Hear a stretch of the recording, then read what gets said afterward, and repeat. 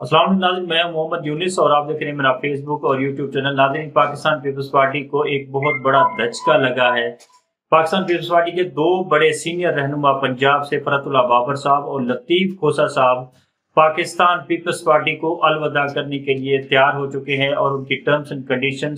जो है वो पीटीआई में शमूलियत के लिए वो भी तय पा चुकी हैं। अब सिर्फ़ प्रेस कॉन्फ्रेंस करना बाकी है और चंद एक दिनों में आप ये देखेंगे कि फरतुल्ला बाबर साहब और लतीफ कोसा साहब मुश्तर का प्रेस कॉन्फ्रेंस करके वो पाकिस्तान तहरीक इंसाफ में शमूलियत अख्तियार करेंगे। हो सकता है जब तक ये वीडियो अपलोड हो और आप तक पहुँचे, उस वक्त तक जरा ये बता रहे हैं कि चंद दिनों से भी घटकर चंद जो है, घंटों के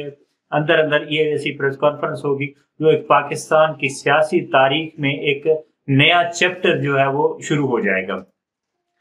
अब इस वक्त में पाकिस्तान तहरीक इंसाफ को ज्वाइन करना बाज़ाहिर तो ऐसे लगता है कि ये बहुत बड़ी गलती है, लेकिन वो सियासी तौर पर गलती नहीं, अपने आप को दोबारा ज़िंदा करने जा रहे हैं, क्योंकि पाकिस्तान पीपल्स पार्टी का पंजाब में वजूद जो है वो ना होने के बराबर है, और अब जिस तरह से हालात बन चुके हैं, खास तौर पर पाकिस्तान पीपल्स पार्टी के लिए जो ग्राउंड तंग किया गया है पंजाब में, और उनकी जो परफॉर्मेंस पंजाब में रही है पिछले अदवार में, उससे अवाम जो है खासा नाला हो चुकी है। और उनके रहनुमा जो है, वो खास अताब में रहे और वो हमेशा जो है, जिस पॉलिटिकल पार्टी के साथ उनकी एक नजरियाती इख्तलाफ था और जिनके खिलाफ वो स्लोगन बनाया करते थे, अब वो स्लोगन जो है, उसको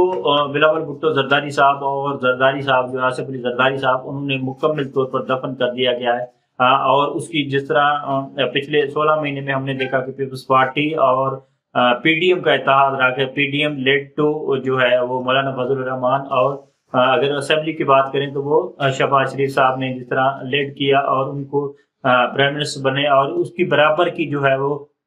बेनिफिशरी थी पाकिस्तान पीपल्स पार्टी भी। लेकिन पाकिस्तान पीपल्स पार्टी का जो मजामती बयानिया था और जो खास तौर पर एंटी इस्टेब्लिशमेंट और एंटी नवाज़ लीग जो उसकी पंजाब में अपोनेंट थी उसको खासा जो है वो धचका लगा है और पाकिस्तान पीपल्स पार्टी का जो पंजाब का वर्कर है या रहनुमा है, उनके लिए जो ग्राउंड पहले हुआ करता था, जिस ग्राउंड पर उन्होंने कंपेन करनी थी, जिस बयानिया को लेकर वहाँ के पास जाना था, वो बयानिया मुकम्मल तौर पर जरदारी साहब ने दफन कर दिया उसको।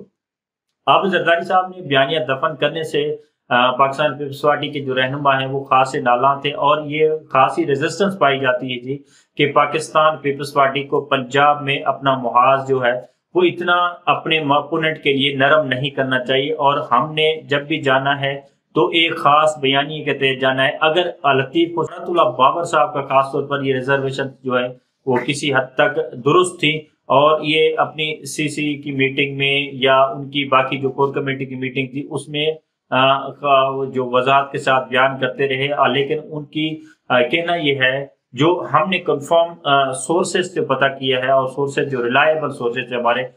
इस्लामाबाद और लाहौर में उनसे पता किया है तो वो खासे जो है वो पीपल्स पार्टी से नाराज़ होकर अब मुकम्मल तौर पर जो है वो जहनी तौर पर तैयार हो चुके हैं कि उन्होंने अपने सियासी जो आगे मुस्तकबिल है, सियासी कैरियर जो है वो मजीद पाकिस्तान पीपल्स पार्टी के प्लेटफॉर्म से नहीं जारी रखना चाहते। वो एक नई सियासी मंजिल को तलाश कर चुके हैं, उसको जो है, ज्वाइन करेंगे, यानी तहरीक इंसाफ को। हालाँकि देखा जाए तो तहरीक इंसाफ खुद बड़े आताब में है, कोई उसका दूर दूर तक जो है, मुस्तकबिल करीब में जो है, वो कोई बैलेट पर सियासी तरजीहों के मुताबिक तो उसका नाम नहीं है। उनके सियासी लीडर्स, लीडरान जो है, वो तकरीबन पॉलिटिकल पार्टी छोड़कर चले गए हैं। कुछ जो है ना, वो अंडरग्राउंड हो गए और कुछ जो है, वो जेलों में जेलों में मौजूद है। जेल में तरीके इंसाफ, इमरान खान साहब भी जेल में हैं तो ये खासी एक नया चैप्टर होगा और खासी दिलचस्प सियासी सूरत हाल होगी। जब एक पॉलिटिकल पार्टी को लोग छोड़ छोड़ कर जा रहे हैं और उसी जगह पर अगर उसी पॉलिटिकल पार्टी जिसकी बजाहिर जो है वो इतना बड़ा उस पर जो है आताब डाला गया है, उतना इतना मार्जिनलाइज किया गया है ज्वाइन करना, ये हम जैसे लोगों के लिए अचंभे की बात होती है, खासतौर पर लोग उसकी तरफ़ मूव करते हैं, जिसको इकतदार की बू आ रही हो, जो ऐवान तक पहुँचने की सलाहियत रखती हो, जिनको ऐवान तक पहुँचाने के लिए जो उनके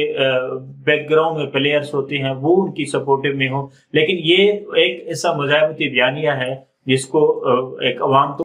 जिसको लतीफ़ खोसा साहब और फरतुल बाबर साहब बेहतर समझ सकते हैं। ग्राउंड रियलिटीज को देखते हुए उन्होंने बहुत ज़बरदस्त किस्म का, हमारी जो सियासी सोच है, सियासी बसीरत है, उसके मुताबिक उन्होंने अपना पत्ता जो है वो सही खेला है और सही वक्त पर खेला है। क्योंकि अगर ग्राउंड पर देखा जाए तो पाकिस्तान तहरीक इंसाफ की जो सपोर्ट है पॉपुलरिटी है, पाकिस्तान तहरीक इंसाफ के जो वोट बैंक है, वो तकरीबन 70 परसेंट है। जो मुख्त सर्वे आए हैं, जो इंटेलिजेंस रिपोर्ट्स आई है, उसमें 70 परसेंट पाकिस्तान तहरीक इंसाफ का वोट बैंक मौजूद है। और 30 परसेंट जो है वो बाकी सियासी पार्टियाँ हैं।